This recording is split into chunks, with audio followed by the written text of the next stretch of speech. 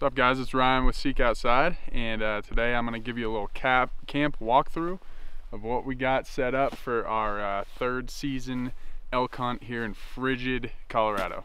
And how cold is it? It is, it's probably about 19 right now. It's not very warm. no, it's very cold. So All yeah, let's let's take a look here.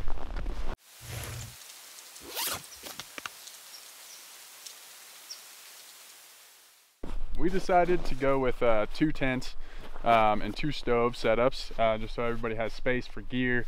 I think we all have about three sleeping bags, so we needed some extra space. Um, so if you take a look over here, what we got is the eight-person teepee with the SXL stove in it. And as you can see, we got a tarp down. This is a DST tarp. We got that down, and then there's another DST right over there, um, just to keep, as you can see, it's very sloppy, so we didn't want our, our gear getting dirty. Um, and then we also got this, uh, we got our wood set up over here.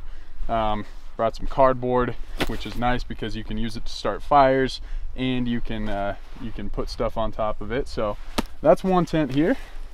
We also have the liner set up. Uh, this is a must-have for winter camping due to condensation. I mean, it's going to be high, especially with. I mean, if you look down here, all this moisture is locked in the ground, and basically what we're doing is we're creating a greenhouse here. So when we fire the stove up, all that moisture is going to be rising. The stove will dry it out over time, um, but liner is definitely a must-have. So what we got going on here uh, with teepees, and especially if you have the liner in there, headroom is always a must-have. Um, so what we do, um, and you can do this with sticks, but basically for our guy lines, we're just running a redirect here.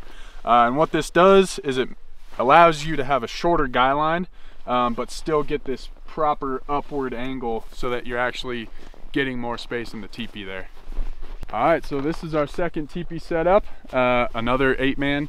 This one has the big mama in there, um, and it also has the big mama baffle inside of it. Um, I set this one up, so I'm sleeping in here. I set the, all, all the camp up, so obviously I'm gonna take the big stove for myself.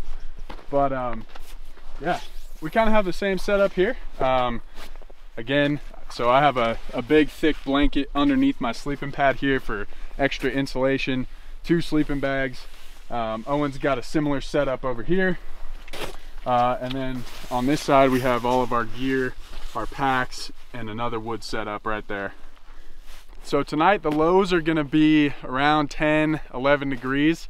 Um, as you can see over here, we're kind of in a valley. Unfortunately, this was like really the only spot that we could that we could set up here. Um, but so it's to be very cold tonight. That's why we all have uh, multiple sleeping bags. You know, um, if you're truck camping, it's always nice to bring extra stuff um, as you can afford the weight. Um, to be honest with you, I probably wouldn't be back backpack hunting in this kind of weather, just unless you have a giant bag and a sled.